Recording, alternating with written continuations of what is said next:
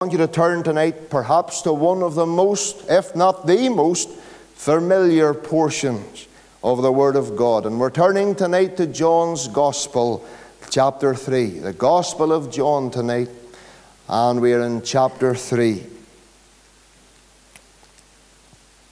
John's Gospel, chapter 3. The question I want to ask tonight is this How can one enter the kingdom of God? That's the big question. How can one enter the kingdom of God? Well, we come this evening to John's Gospel, chapter number 3. Verse 1, we're brought to this scene, and it says, There was a man of the Pharisees named Nicodemus, our ruler of the Jews. And the same came to Jesus by night and said unto him, Rabbi, we know that thou art a teacher come from God. For no man can do these miracles that thou doest, except God be with him. Jesus answered and said unto him, Verily, verily, I say unto thee, except a man be born again, he cannot see the kingdom of God. Nicodemus saith unto him, how can a man be born when he is old? Can he enter the second time into the mother's womb and be born? Jesus answered, Verily, verily, I say unto thee, except a man be born of water and of the Spirit, he cannot enter into the kingdom of God. That which is born of the flesh is flesh and that which is born of the Spirit is spirit. Marvel not that I said unto thee, Ye must be born again. The wind bloweth where it listeth, and thou hearest the sound thereof, but canst not tell whence it cometh and whither it goeth. So is every one that is born of the Spirit. Nicodemus answered and said unto him, How can these things be? Jesus answered and said unto him, Art thou a master of Israel, and knowest not these things? Verily, verily, I say unto thee, we speak that we do know, and testify that we have seen, and ye receive not our witness. If I have told you earthly things, and ye believe not, how shall ye believe if I tell you of heavenly things? And no man hath ascended up to heaven, but he that came down from heaven even the Son of Man which is in heaven. And as Moses lifted up the serpent in the wilderness, even so must the Son of Man be lifted up, that whosoever believeth in him should not perish, but have eternal life. For God so loved the world that he gave his only begotten Son, that whosoever believeth in him should not perish, but have everlasting life. And for God, for God sent not his Son into the world to condemn the world but that the world through him might be saved. And he that believeth on him is not condemned, but he that believeth not is condemned already, because he hath not believed in the name of the only begotten Son of God. And this is the condemnation that light is come into the world, and men love darkness rather than light, because their deeds were evil. For every one that doeth evil hateth the light, neither cometh to the light, lest his deeds should be reproved. But he that doeth truth cometh to the light, that his deeds may be made manifest, that they are wrought in God. And after these things came Jesus and his disciples into the land of Judea, and there he tarried with them and baptized. And we know that the Lord will add his blessing to that public reading of his own precious truth. There is so many people tonight so many people in this town, maybe in this tabernacle. There may be one or two, I don't know. But there's so many in this town. And there's so many in this country. And there's so many in this nation. And they're trapped. They are trapped And they are trapped tonight by a false belief, by an old illusion.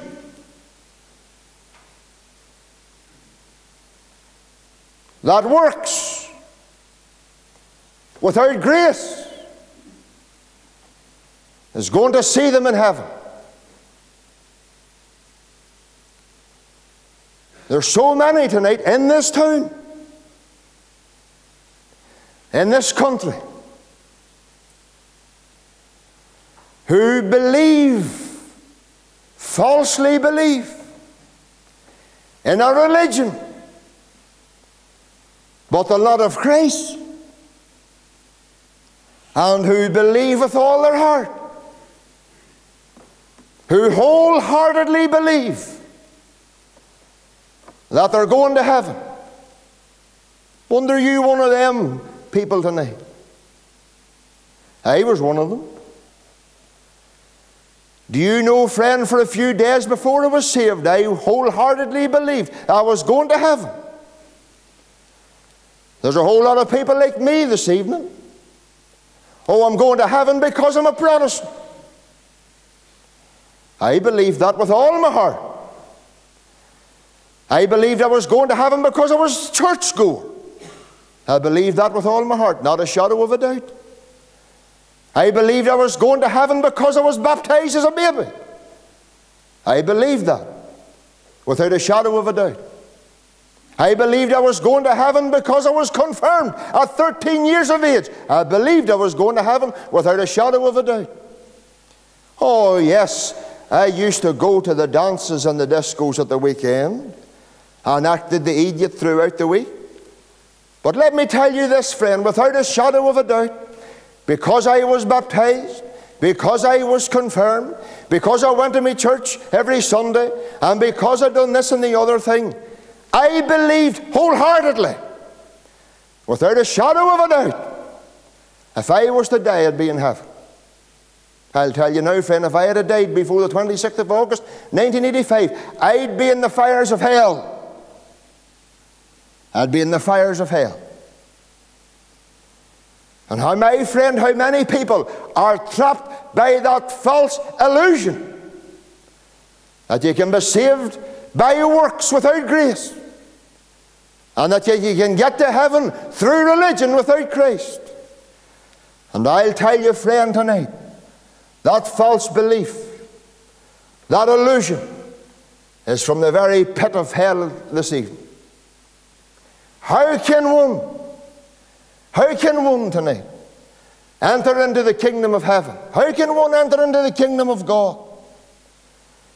You know, friends, this evening, let me tell you this. It's only by the Holy Spirit will such be awakened to the error of their ways. I was reading in the newspaper the other day and this boy wrote in a column, All religions lead to heaven. All religions. I'll tell you, all religions don't lead to heaven. All religions lead to hell. All religions lead to hell, you know. Christ is the way to heaven. And my dear friend, tonight, if you're in this meeting and you believe and with all your heart you're going to heaven without Christ, you're wrong. If you believe you're going to heaven because you were baptized when you were a baby, you're wrong. If you believe you're going to heaven because you were confirmed, you're wrong. And God's truth tonight tells you you're wrong. You see, here in John's Gospel, chapter 3 tonight, we're coming to a man tonight called Nicodemus. Nicodemus wasn't a heathen. Nicodemus tonight was a religious man. He was a ruler of the Jews. If there ever was a man religious, it was him. But let me tell you something about Nicodemus tonight. Nicodemus tonight was a man who stands out like the people of the north of Ireland. Oh, friend, tonight, he was deeply religious. Nicodemus believed in God. Nicodemus believed that Christ came from God. But even knowing all these things tonight, dear unsaved friend, that didn't make him a Christian. That didn't seal his place in the kingdom of God. That didn't set him up for heaven, even though he believed in God. I'll tell you, friends, this evening, many an IRA man believed in God. He wasn't a Christian. And tonight you believe in God. You believe that the Lord Jesus Christ came from God. You believe all this tonight. Ah, but that doesn't mean you're a Christian. The same problem lies in the hearts of people today. They believe so many things, but they cannot accept the truth. They believe so many things, but they won't accept the truth.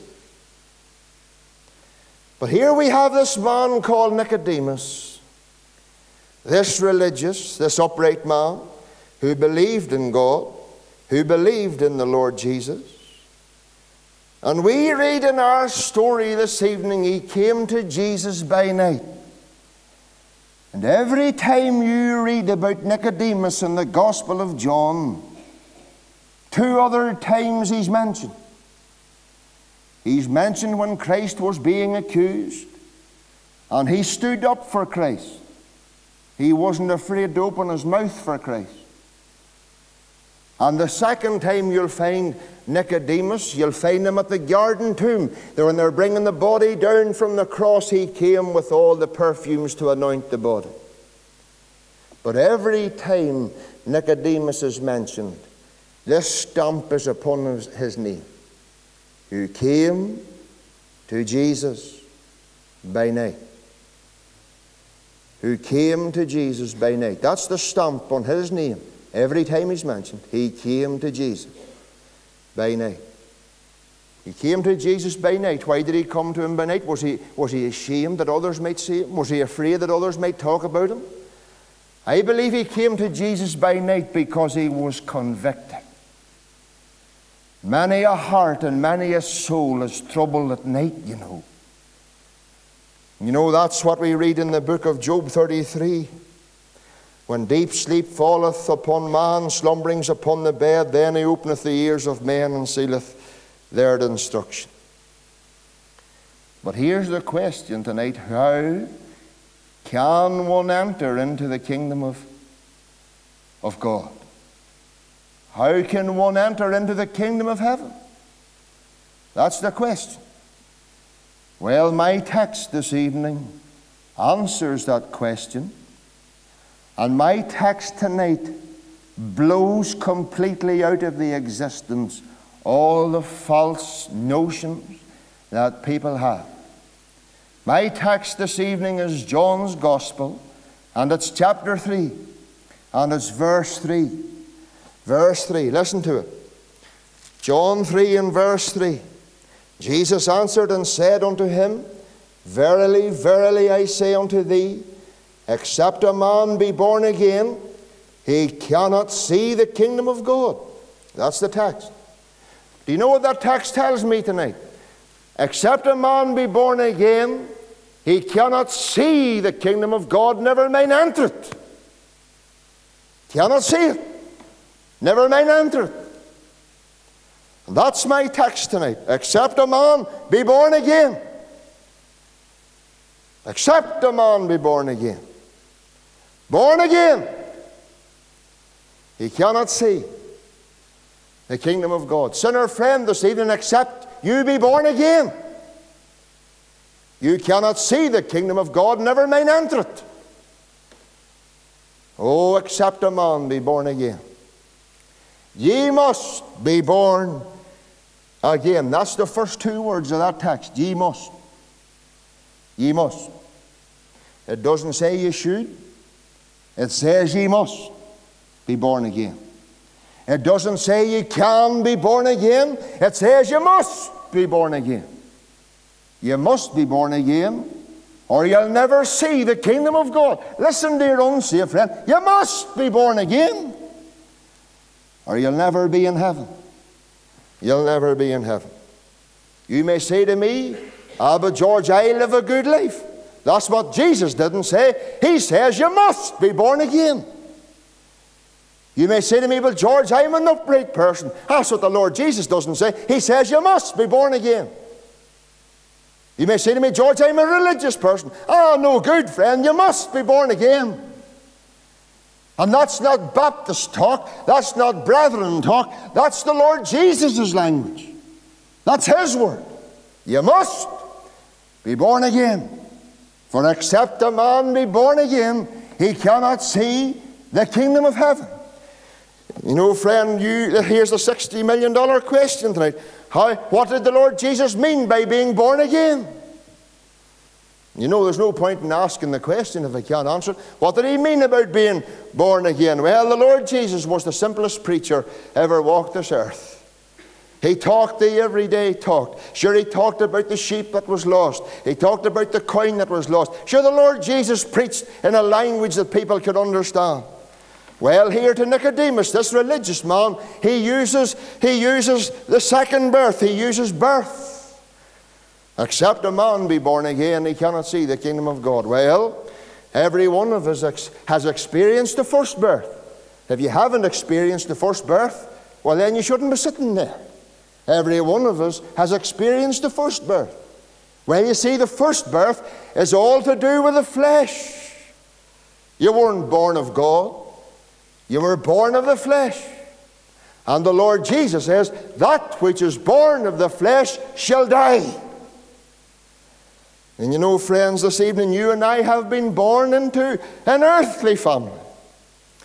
But here's the problem Psalm 51, verse 5 says, Behold, I was shapen in iniquity, and in sin did my mother conceive me. You know, every time there's a little baby brought up to the front, bless them, and they're in their mother's arms, and I look down upon them when they're cooing and they're cuddling if they're not sleeping or crying.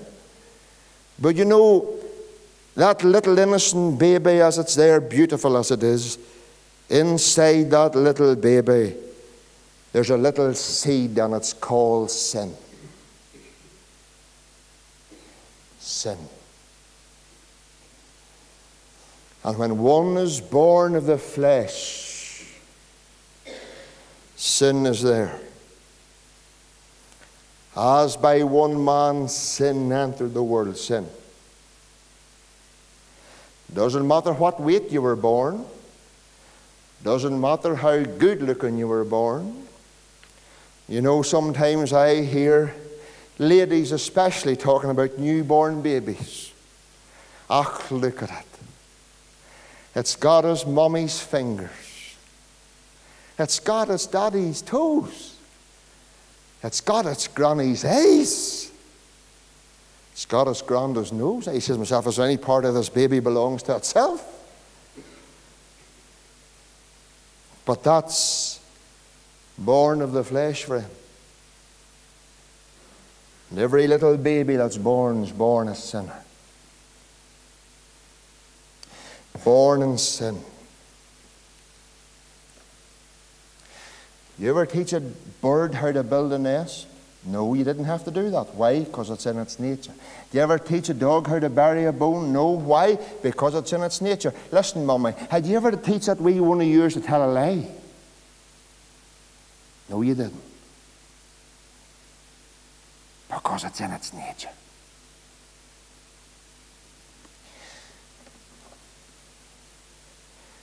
The Bible says, For there is no man that sinneth not. That's 1 Kings 8, verse 46. Notice what the Lord Jesus quotes Except a man be born again. Again. He cannot see the kingdom of heaven. No matter how righteous, no matter how religious, you must be born again. You must be born again. How does one be born again? Well, you're born from above. That's how you're born again. You see, friend, this evening, a man and a woman is born into an earthly family. That's being born of the flesh. But to be born again is to be born in the Spirit of God and born into God's family. God's family. To be born again is to be born of the Spirit of God. And to be born of the Spirit of God, you need to be convicted of your sin. You need to tremble because of your sin, because your sin tonight is dragging you helplessly to the fires of hell. How does a man or a woman or a young person be born from above? Well, it's not through religion, it's not through good works, it's not through any self effort. It's when the Spirit of the living God takes a dealing with your heart. It's when the Spirit of God takes a dealing with your soul. It's when the Spirit of God takes a dealing with your mind, sir. And that's what it means. And I can tell you when the Spirit of God gets a hold of a man, he's troubled. When the Spirit of God gets a hold of a woman, she's troubled. Sin troubles you troubled me. When the Spirit of God starts to work, you begin to realize what you are in the face of God. But you realize too, friend, what Christ and His love has done for you. Friend, do you realize tonight what Christ and His love has done for you? How He went to the cross how he was crucified there to the cross, how he hung naked upon the cross, how he took your sin upon him there on the cross, how he suffered there on the cross, how he bled there on the cross, how he died there on the cross himself for me. Every sinner must recognize their sin. You'll never be born again if you don't. But every sinner must recognize tonight that Christ went to the cross to die for them. You see, neither is there salvation in any other, for there's none other name under heaven given amongst men whereby we must be saved. That's it. Did the Lord Jesus not say to Joseph, Thou shalt call his name Jesus? Why? Because he shall save. That's what he came to do. He didn't come to start a religion, He came to save. Glory to God, He came to save. Oh, yes. And my friend, to be born from above means to come as a poor sinner, you know. And recognize that you're not prepared to meet God, and you need to realize you're not prepared to die. You need to come realizing you're not prepared for eternity. That's how you come. You come as a lost sinner. And to whom you come? You come to Christ. And you come believing with all your heart that He died on that cross for you, and that His blood was shed for you, and that He died there and He was buried, but He rose again the third day and tonight. You must accept Him into your heart as your Savior. You need to be born from above. You need to trust Him tonight as your Savior. The night I got saved, you know, I was gloriously saved, and thank God I was eternally saved. On Monday night, the 26th of August, 1985, that night, friend, I came as a sinner to Jesus, not as a Protestant. I came as a sinner to Jesus. And that night, about half past ten, 25 past ten, the Spirit entered. I came to Jesus as I was.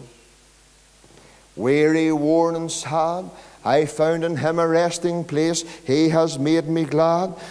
I'm telling you, friend, when first my all I ventured on Christ's atoning blood, the Holy Spirit entered that moment, and I was born born of God. I'll tell you, religious didn't come into me. Religion, nothing to do with my salvation. I was born again that night, sitting in the Church of Ireland Church Hall there on the main street of Aughnacloy. The Holy Spirit entered that night. And I was born of God, born again, born from above. I'll tell you, friend, this evening do you believe what the Lord Jesus said? Do you believe you must be born again? If you don't, friend, you'll never see the kingdom of heaven, never mind enter. If you're born once, you'll die twice. But if you're born twice, you'll die once. Do you know the date my do you know the date my mother registered me? My father and mother registered me. You know we have to register births. William George McConnell, born the 18th of August, 19 whatever it was. And do you know do you know the date? Do you know the date she signed my registration on? The 26th of August, 1980, sorry, 1960, whatever it was. 1965. And 20 years later, right to the very day, the heavenly register was, my name was placed in the heavenly register. When? The 26th of August, 20 years to the very day. The 26th of August, I was registered on earth. Glory to God. 20 years later, on the 26th of August, I was registered in heaven.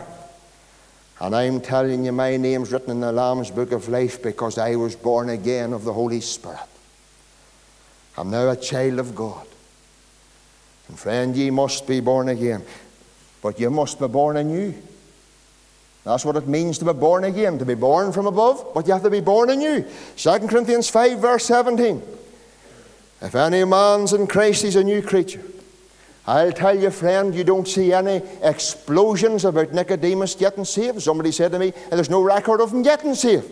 You don't see him falling Christ. You don't see him. You don't see a dying thief conversion. You don't even re- realize. You don't even seek see Nicodemus in the Bible asking the Lord Jesus into his heart, not like the dying thief. But I'll tell you, he was born again, right. Because later on in his life, he stood for Christ against his own people. He was at the garden, he was at the day of Calvary, he was there with the ointments to anoint the body. Oh, Nicodemus was born again. You need to be born again. Because I'll tell you this to be born again means to be born from above, and it means to be born anew. you. And I mind the night after I got saved, I come home and sat at the tea table with my mother, and I never opened my mouth. And she says to me, Have you got saved? He says, Who told you? My mother was crafty, you know, like her son. He says, Who told you? Says, Nobody had to tell me. I just noticed the cursing has stopped. When you're born again, I'll tell you, not only will you know others will know. And I'll tell you, Nicodemus is in the kingdom of heaven tonight because he was born again. Except a man be born again, he cannot see the kingdom of God. How can one enter the kingdom of God? How can one enter the kingdom of heaven? Being born again by the Spirit of God.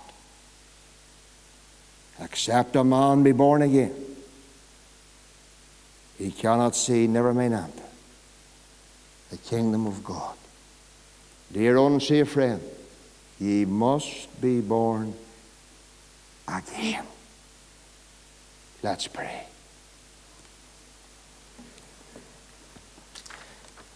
Friend, tonight, you need Christ.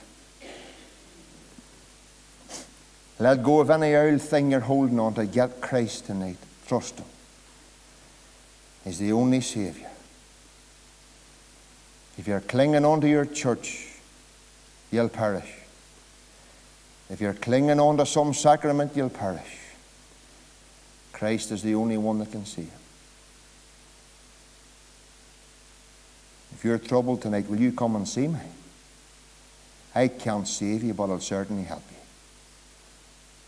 May God, by His grace and by the power of God, the Holy Spirit, help you tonight to be that person in being born again. Lord, tonight we turn the eternal issues of this meeting over to Thee. In Jesus' name. Amen. And amen. 118 is